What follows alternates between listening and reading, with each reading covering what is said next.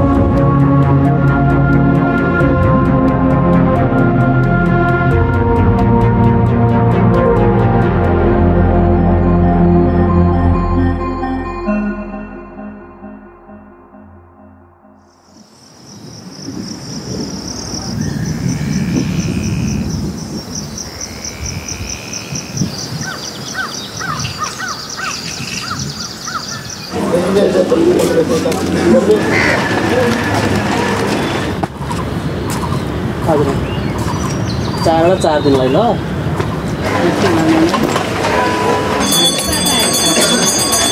तुरी तारी तुरी स्वाम तारी तुरी तारी तुरी ओम तारी तुरी तारी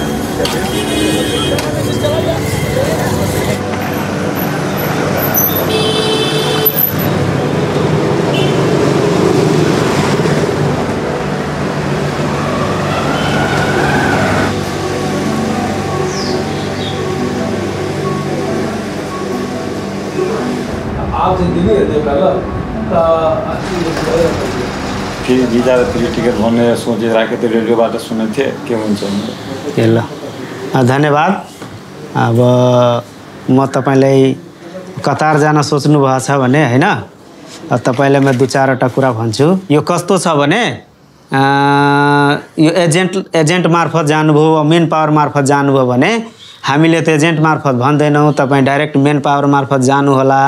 यदि गरेन भने तपाईँ बुझ्नुहोला कि ठगिरहेछ। किनभने पासपोर्ट लिएको छ भने उसले त भरपाई गर्नु पर्यो होइन?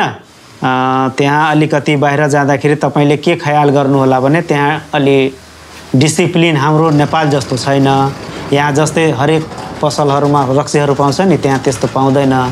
त्यहाँ गर्मी पनि धेरै हुन्छ होइन? त्यो ख्याल गर्नुहोला।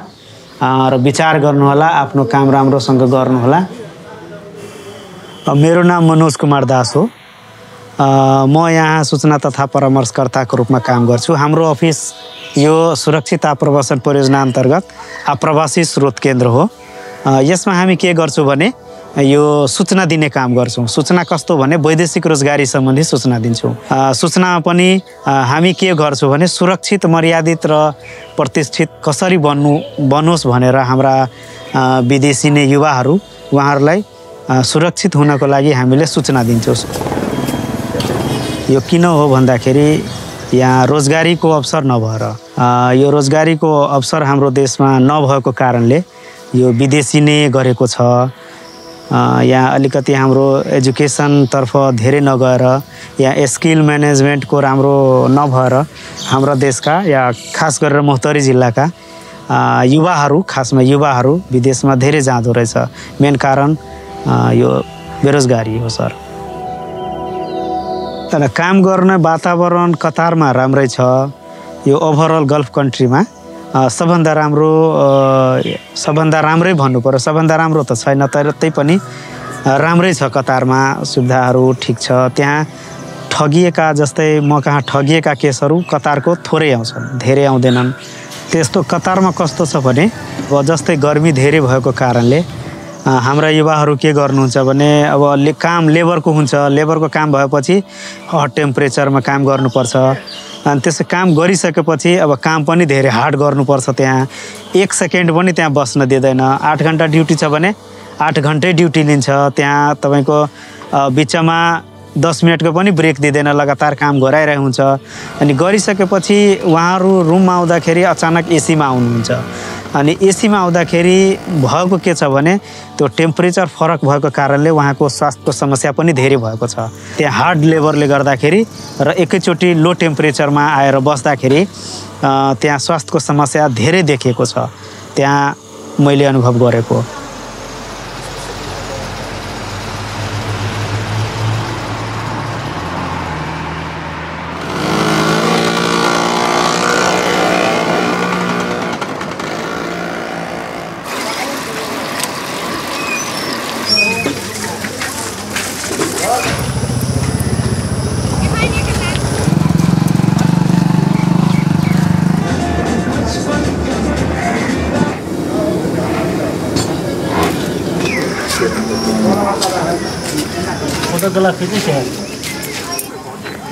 नाम थियो सञ्जीव कुमार मण्डल हो।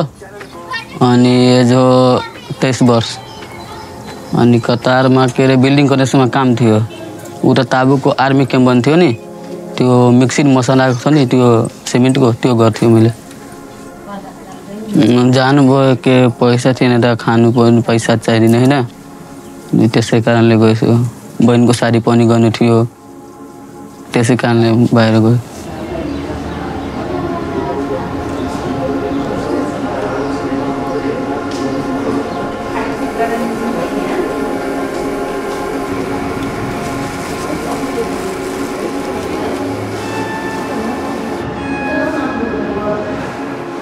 मेरो नाम श्रीबहादुर थापा हो। म दस वर्ष पहिला कतार गएको थिएँ। कतार गएर आएपछि किडनीको समस्या भएको वातावरण एकदम गर्मी गर्मी ठाउँ हो होइन? रुममा बस्न पाए मात्र शीतल हो बाहिर त गर्मी हो। अब त्यहाँको अहिले टेम्परेचर लगभग चालिस पैँतालिसको छ होला अहिले होइन? लगभग पचास बाहन्न पुगेपछि अफ गर्छ क्या तिनीहरूले। गर्न पाउँदैन। पानी अब पानी त राम्रो हुँदैन होइन? बस्ने ठाउँ ठिकै हुन्छ। अनि प्रायः फोहोरै नै हुन्छ। अब त्यस्तै अब कम्पनी जस्तो दिए त्यस्तै बस्नुपर्छ होइन? अब सबै यताउता दायाँ बायाँ फोहोर हुन्छ। त्यहीँ बस्नै पर्ने अब। बस्यो बस नबसी नबस भन्ने खालको हुन्छ नबसेर कहाँ जाने होइन? टाढाको देश समस्या हुन्छ। कम्पनीले जे भन्यो त्यही मान्नुपर्छ।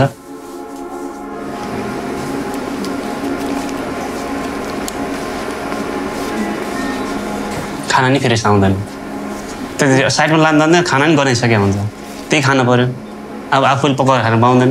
प्याकिङमा आउँछ खाना होइन? त्यो खा त्यो अब यसो सुन्दा गनाइसकेको हुन्छ। त्यो पनि खानै पऱ्यो पानी भने त्यो कुलरमा त्यो पानी बिल्कुल एकदम फोहोर हो त्यो। राम्रो पानी खान पैसा चाहियो।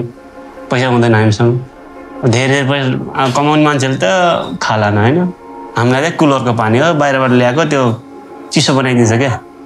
त्यसै अब फोहोर पानीले चिसो बनाइदिन्छ अब चिसो खायो भने चाहिँ आराम हुने भयो। त्यही पानी खाएर भने तिर्खा मिलेर बस्ने हो। त्यही कारणले मान्छेलाई किडनीको रोगी पत्थरी यस्तो धेरै हुन्छ त्यहाँ। सबभन्दा रोग किडनीको रोगी र पत्थरी चाहिँ एकदम बढी मात्रामा हुन्छ त्यो कतारमा त्यही भएर ठ्याक्कै फिफ्टिन मलाई जस्तो नै हुन्छ।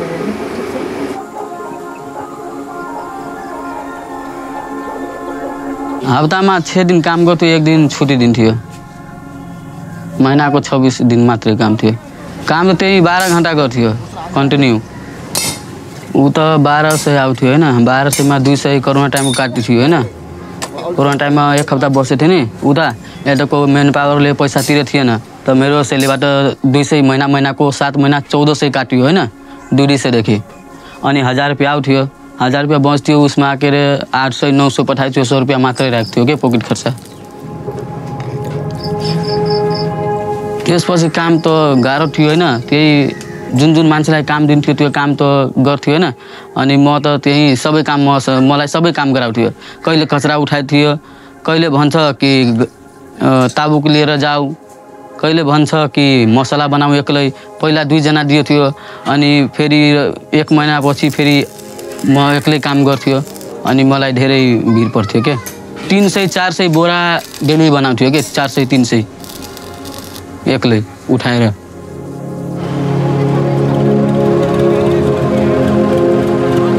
आठ बजेसम्म त झार लाग्थ्यो होइन? अनि आठ बजे भयो भने धेरै गर्मी थियो पुरै पानी पानी घुस्थ्यो। पानी पनि पुरै हार्ड गरम थियो नि पानी पनि मसिन थियो कुलर पो होइन एसी काम गरेछ भने गरम गरम पानी थियो। कहिले अहिले खाने हो। बस्न पाइँदैन उता के अरे धेरै गाडीहरू घुम्थ्यो नि। बस्न दिँदै थिएन। उताको फोरम्यान इन्जिनियर होइन सबैले चेक चेक गर्थ्यो के? बस्यो भने सिधै कम्पनीले आइ कम्प्लेन गर्थ्यो। त्यो बस्ने बेला फोरम्यान गइसक्यो भने बस्थ्यो अलिअलि होइन फेरि आएपछि फेरि भन्छ किन बस्यो? त्यही थर्काउँथ्यो। काम चेन्ज गरिदिन्छु साइड चेन्ज गरिदिन्छु कम्प्लेन गर्छु त्यस्तै गरेर मान्छेलाई थर्काउँथ्यो के?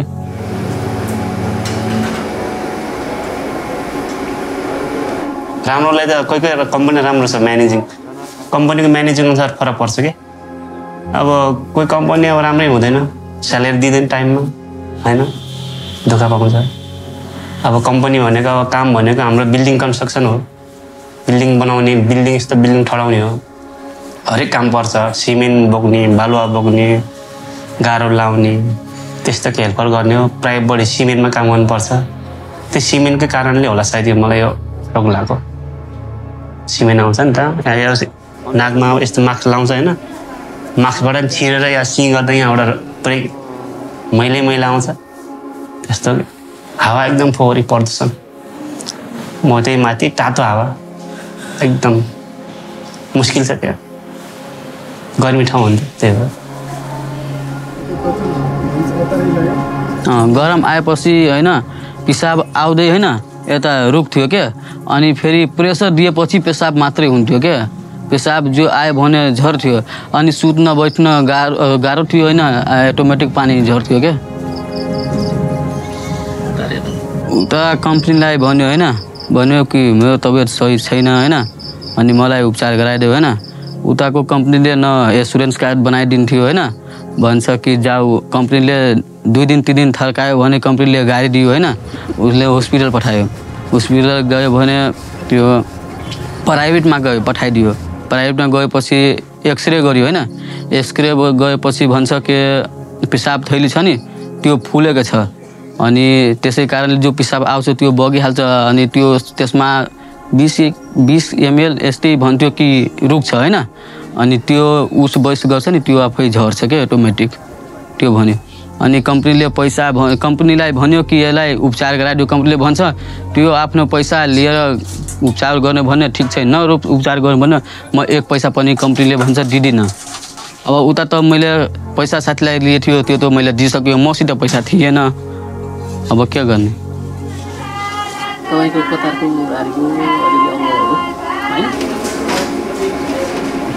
सुक्दै गएपछि अब पछि सबैले भन्ने मलाई। किन दुब्ला छ यस्तो उमेरमा भन्ने होइन। अब मलाई के थाहा थाहै भएन दुख्ने सुक्ने हुँदैन। त्यो साइडमा यो साइडमा दुख्छ होइन कहिले कहिले झसक झसक हान्छ अलिक फिलिङ त भएको हो मलाई। तर अब मेडिकल पास भयो अनि गइहाल्यो होइन? त्यस्तो रोग पहिले लक्षण चाहिँ छ रहेछ मैले थाहा भएन। यहाँ मेडिकल गर्दा पास भयो भने गयो। उहाँ गएपछि गर्मीमा गएपछि झन् रोग चाहिँ झन् ठुलो भयो। वहीँ हुँदाखेरि चाहिँ केही गरेन नि। न कम्पनी रेस्पोन्ड गर्यो त्यहाँ मेडिकल चेकहरू हुँदै हुँदैन। अब तिनीहरू सुविधै छैन कि खासै? भन्यो भने अब त्यस्तो बिल्डिङ कन्स्ट्रक्सन कम्पनी अब खासै राम्रो नराम्रो कम्पनीमा मेडिकलको सुव सुविधा हुँदैन कि? गरिदिँदैन। उनीहरूले चाहिने गर्छ खासै वास्तव गर्दैन। गऱ्यो भने आफ्नै पैसाले पऱ्यो आएपछि चाहिँ अब फेरि म अब त्यहाँ पैसा कमाउनु सकिएन। अर्को देश जान्छ भने मेडिकल गर्दाखेरि बल्ल मेडिकल फेल भएर बल्ल थाहा पायो। अनि के भयो भनेर चेक गर्ने म अब म आफूलाई टेन्सन भयो नि त। ला मलाई रोग लागेछ भन्ने थाहा भयो नि त।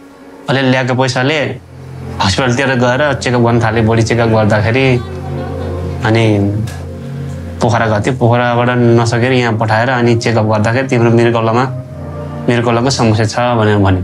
भनेपछि अनि उपचार गर्यो। गरेको।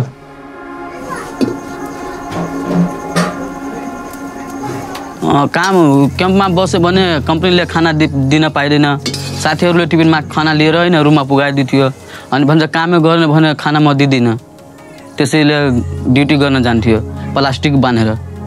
एटोमेटिक पानी आउँदैथ्यो अनि प्लास्टिक बाँधेर काम गर्थ्यो।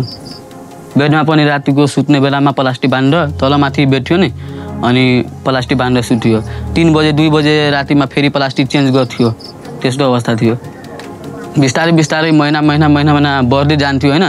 छ महिना भयो भने मसित अब साथीहरूले भन्छ कि जाऊ। कम्पनीले भन्यो कि जायो भने तपाईँ आफ्नो टिकट लिएर जाऊ। अब म अर्को मान्छेसित पैसा लिएको थियो होइन। त्यसैले आयो भने त्यसलाई दिइसक्यो। मसित पैसा थिएन। अनि साथीहरूले के भन्यो चन्दा उठाएर पैसा टिकट कटाएर दियो। कम्पनीले भन्छ टि टिकट पनि दिँदिनँ पैसा पनि दिँदिनँ। अनि त्यो पन्ध्र दिनको पैसा कम्पनीले राख्यो। एटिएम पनि राखिसक्यो।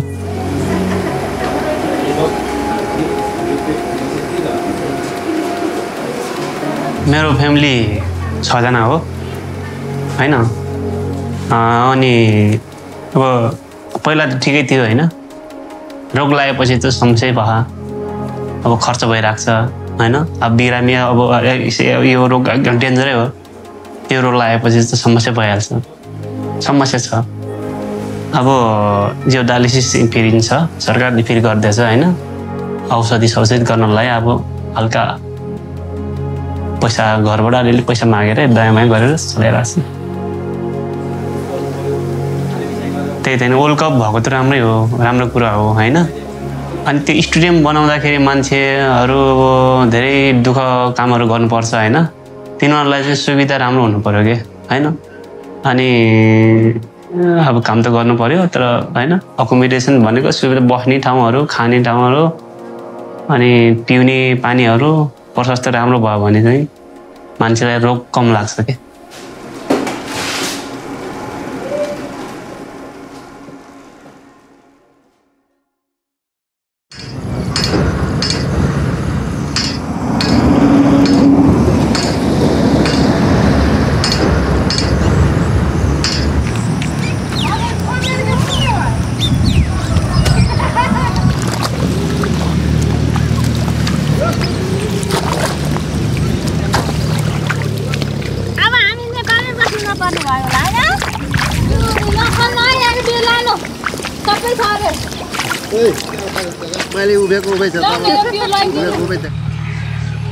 मेरो नाम गोमा मगर।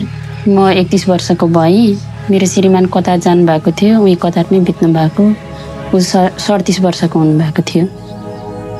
त्यो त अब बाध्यता हुन्छ नि। अब धेरै ऋण परेको थियो साउले धेरै किचिज गर्ने। अब सबैले भन्थे फल्लाको यति ऋण छ कहिले तिर्छ? यसले के गरेर ल्याएर तिर्छ? भनेर भन्नुहुन्थ्यो। अनि त्यही भएर बाध्यताले नै पठाएको मैले नै। म त जानु मान्नु भएको थिएन। म यतै घर खेती नै गर्छु भनेर भन्नुहुन्थ्यो। मैले चाहिँ अब अरूभन्दा किन कमी हुने? छोरा मान्छे हो सधैँ घर बसेर हुँदैन। कमाउनु पर्छ छोराछोरी पढाउनु पर्छ जानुपर्छ एकचोटि भनेर पठाएको। त्यस्तो केही नै सुनाउनु हुन्न थियो क्या? त्यो धेरै टेन्सन हुन्छ भनेर पहिले जाँदाखेरि पनि गाह्रै भएको रे हुन चाहिँ तर मलाई चाहिँ केही सुनाउनु भएन। किन सुनाउनु? तिमीलाई धेरै टेन्सन हुन्छ घर परिवारलाई। म पैसा कमाएर पठाउँछु धेरै खोजी नगर भन्नुहुन्थ्यो सुनाउनु हुन्न थियो सोध्दा त मैले थिएँ उहाँले चाहिँ सुनाउनु हुन्न थियो उहाँसँगै बस्ने साथी अनिल भन्ने यहाँ हाम्रै गाउँको थियो अनि उहाँलाई नि सोधेको मैले। यस्तो यस्तो भन्नुभएको छ त के काममा चाहिँ जानुभएको थियो दाइ हजुर त सँगै हो त भन्दाखेरि त्यही हो भाउजू काम चाहिँ त्यही रङ्गशालामै जानुभएको फुटबल रङ्गशालामै भनेर भन्नुभएको थियो। अनि दाइले त भन्नुहुन्न थियो त भनेर। भन्नु भएन होला तर त्यही काममै जानुभएको थियो भनेर भन्नुभएको थियो।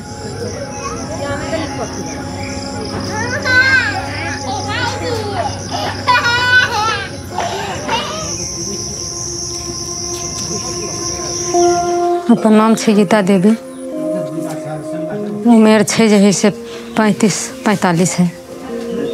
हमर श्रीमान कहै छलखिन पहिने लेबर ने करै छलियै काम। आ, तब जे है से लेबर ने जे है से बढ़िआँ देखलखिन अथी सुन। ए इंग्लिश बाजऽ एलखिन नहि तऽ स्टोर ने धऽ देलखिन। हमरा श्रीमानके आ, स्टोर ने से पहिनका कंपनी ने स्टोर ने धऽ देलखिन। आब ओहिने जे है से पाँच महीना छः महीना पर जे है से सैलरी डालतथिन। तो कहलखिन एना एना बात है, हमरा एहि से नहीं होय वाला है धिया पुता घर परिवार है बाल बच्चा इकट्ठा खेत पथार नहीं है। तो कथी खाइत बाल बच्चा तो दोसर कंपनी जे ताले अथी भऽ गेलखिन, सबके सब कहलखिन, एहि कंपनी ने सरकारे छूट कऽ देलखिन जे कंपनी से ई कंपनी कमा सकै है। तऽ ऊपर सोचलखिन, बहुत लोग गेलखिन। तऽ सोचलखिन, हमहूँ जे है से दोसर कंपनी ने से अथी भऽ जाइ छी सेट भऽ जाइ छी। सेट भेलाके बादमे ओ सेट केलखिन, दूगो मैसेज एलखिन तऽ एगो, दूगो मैसेज ओतऽ एलखिन हमरा हमरा श्रीमानके तऽ हमरा नहि जानकारी देलखिन। तेसर मैसेज नहि एलखिन नहि तब कहलखिन एना बात है से हम दोसर कंपनी जा रहा छी। से फलना तारीखके जे है से हम जाए एक दू महीना के बाद ने हम दोसर कंपनी ने अथी भऽ जाए ट्रांसफरमा भऽ जाए बीस दिन गेला भेलखिन तऽ ओहि कंपनी जे है से बड़ डेंजर रहथिन। तऽ डेंजर रहथिन तऽ जे है सीढ़ी पर जे है से चढ़ाव उतराव के काज रहै अथी के काज रहै पेंटिंग के काज रहे वही के अथी कालने जे है से एना भऽ गेलखिन। पान तल्ला पर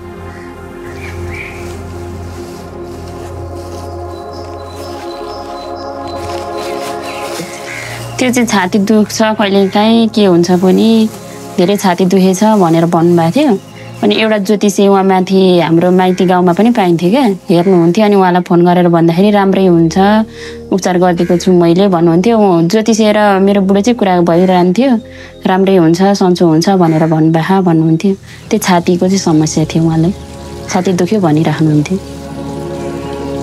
बुढोले बुढोले फोन गर्नुहुन्थ्यो शुक्रबार शुक्रबार। त्यो दिन चाहिँ फोन गर्नु भएन म मिलमा धान लिएर गएको थिएँ आउँदासम्म फोन गर्नु भएन अनि आज किन गर्नु भएन भन्दा भरे बेलुका गर्नुहुन्छ होला भनेर मैले सम्झिराखेको थिएँ। अनि दस बजीतिर म मिलबाट आएपछि त्यो भाइले फोन गर्नुभयो क्या गाउँको भाइले उहाँसँगै बस्ने भाइले। अनि मलाई फोन गर्नुभयो अनि मलाई चाहिँ एक्कासी भन्नु भएन उहाँले।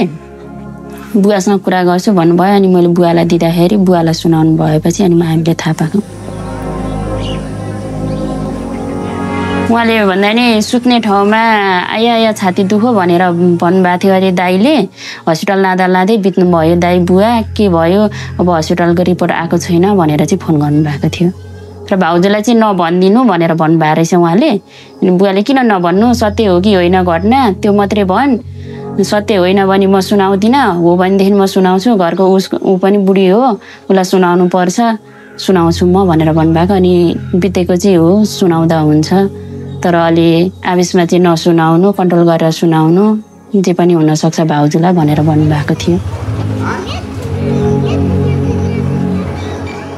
श्रीमान के घटना भेलै जखनिते जे है से एलखिन हमर दियादनी कह हमर जाउत छथिन ओहि जे। एलखिन कह जे है से खाना खाइके टाइम ने जे है से आठ बजैत रहथिन नहि छः बजे तक ले तऽ बातचीत करबे केलिए। आठ बजे तक ले जे है से जहाँ खाना जे बैठते छी खाना पर दुनू तीनू माय पुते तऽ एलखिन, हमर दियादनी करेजा पकड़ने एलखिन, कहलखिन, एना एना बात है जे है से नाम धऽ कऽ कहलखिन हमरा श्रीमानके जे है से ऊपर से जे है से बोलू खसि पड़लै ब्रह्मांड फाटि गेली। अब तखनिते कहलखिन, तखनिते जे है से अपनेके जे है से सब माय पुते जे है से हम अपने चिचियाइ फटियाइ लगलिए मारे कान खींच करऽ लगलखिन। तऽ भरि राति तऽ केनाहितो कान खींच कऽ कऽ रहलिए भरि राति फ़ोन फान होइते रहि गेलै। कहलखिन, बोलू, हॉस्पिटल है हॉस्पिटल है। बिहान सकाले जे है, से किरिन हिनका फिटते है, ताले नहि देखलखिन, नेट सब पर सब छिड़िया गेलै, नेटे पर डालि देलखिन, आ तखनिते जे है, से जगहे पर हमरा श्रीमानके अथी भऽ गेलखिन। पाँचो सेकेंड नहीं बीतलखिन। तऽ बिहान भेने जे है, से देखलखिन सबके मैसेज ने अथी ने रहे, धऽ देने अथी, मोल, मोबाइल पर रहे, धऽ देने। तऽ सब कहलखिन, एना एना बात है, एना एना बात है। आ कान खींचा दुआरे, कनिते खींचते रही आरो हवास दुआरे केओ नहि अबथिन हमरा कह। जे एना बात भऽ गेलखिन, बीत गेलखिन। हिनकर श्रीमान एना बीत गेलखिन, से नहीं अभी हमरा कह। अढ़ाई महीना जे है एलखिन लहास तऽ अढ़ाई महीना तक ल जे से भरि दिन, भरि रात कनिते खींचते घर नि अन्न पानी छोड़ि कऽ घटना नहीं रहबे करिए श्रीमान ला अखन तो तकल है, से ओहने मन है, हमेशा ओहने दिमाग रहै है। केना भऽ गेलै, केना भऽ की भऽ गेलै, किछु बुझऽ नहि पेलिए बाल बच्चा काँच कुमार हा, केना आपत्ति पालन होत, की होत, हमेशा तऽ वही सोचने रहै छी। चारि धूर घरारी, हा, एक कट्ठा नि खेत, हा, नि पथार, हा, नि नीक, हा कर्जा बर्जा थोड़ बहुत भऽ हा। बाल बच्चाके पढ़बै छलिए सब दिन गरीबतिए छी गरीबतिए नहि रहि गेली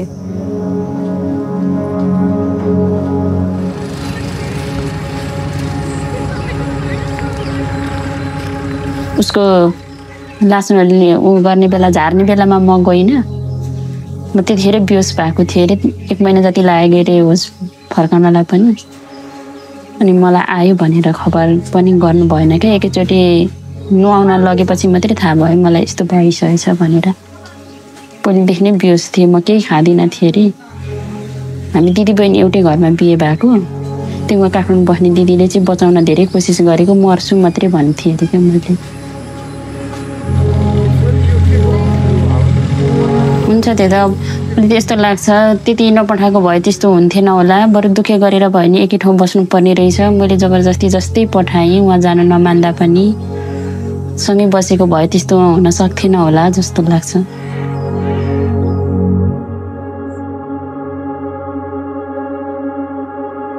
अखन तो खाना खाइ छी तऽ ओहि पर सुरता हा। आइके दिन ने जे है से आइ काल्हिके दिन ने जे है से बतियाइते रही। आइ काल्हिके जे है से बाते करैत रही।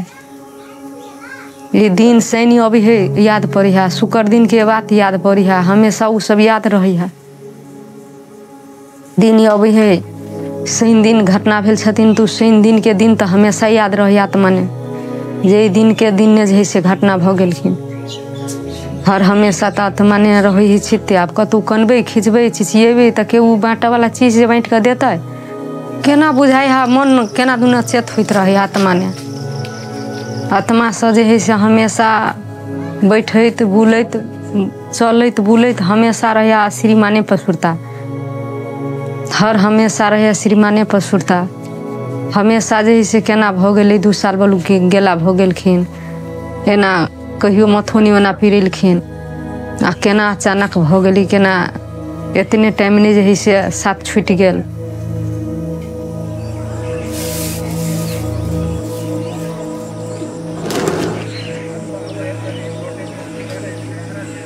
छोरीलाई चाहिँ पछि फुपूहरूले सुनाउनु भयो तर मैले सुनाउन सकेको छुइनँ अहिलेसम्म सुनाएको छैन। बाबुलाई त अझै पनि थाहा छैन विदेशमा हुनुहुन्छ बाबा विदेशबाट आउनुहुन्छ भनेर भन्दैछ र सानो सानो कुराहरू पनि अहिले चाहिँ म सुनाउँछु बाबुलाई। त्यही भएर आज हजुर आउँछ भनेको थाहा पाएर ऊ स्कुलमा गएको। बाबाले पठाउनु भएको अरे मेरो साथीलाई। बाबाको साथी आउनुहुन्छ अरे मलाई साइकल ल्याइदिन्छ ल्याइदिनुहुन्छ अरे म स्कुल जाँदिनँ भनेर नगएको बाबु। बाबुलाई थाहा छैन। र बेला बेलामा किन फोन गर्नु भएन बाबाले? हजुर अरूसँग चाहिँ बोल्नुहुन्छ। बाबासँग चाहिँ किन बोल्नुहुन्न? बाबाको नम्बर दिनु म कल गरेर बोल्छु भन्छ बाबुले।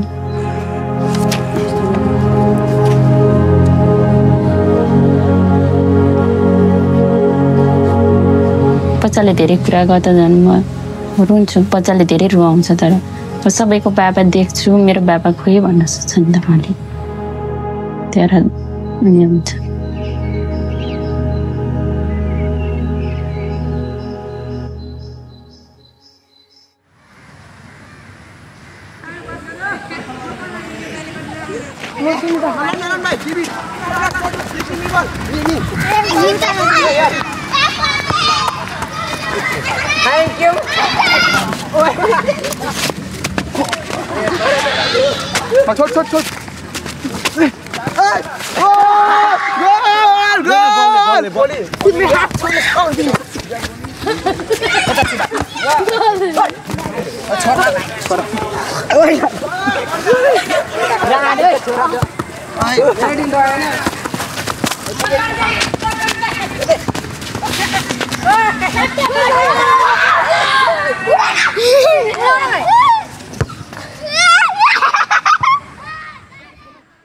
When you give work to somebody, even in hard conditions, you give him dignity Pride. and pride. It's not charity. You don't make charity. You don't give something to somebody and say, okay, stay where you are.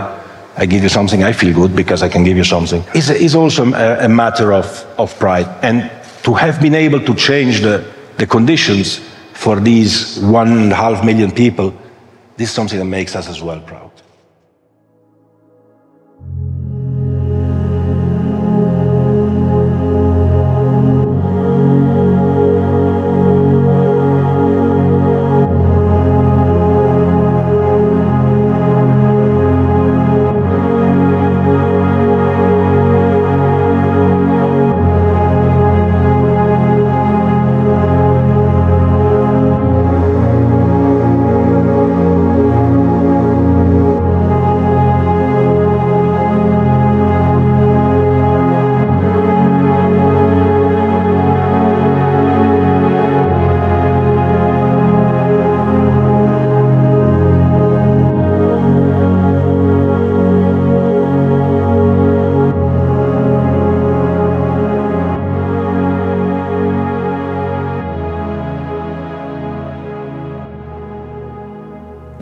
Repentino e inesperado, todas las personas que habían puesto en aprietos al presidente habían sido expulsadas de FIFA. Como hemos visto antes, para Qatar el fútbol no es un simple juego, sino una cuestión de vital trascendencia para el futuro del país. Horas antes de la entrevista, Abdullah volvió a ser detenido.